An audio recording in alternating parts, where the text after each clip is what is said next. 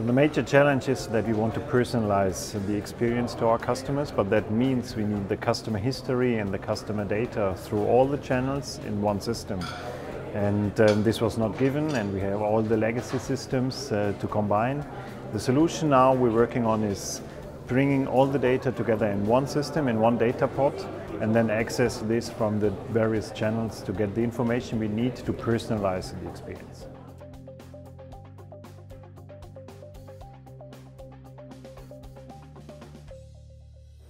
What we see is that the customer expects us to be much easier than we are. And I believe that the customers will ask us to ease our process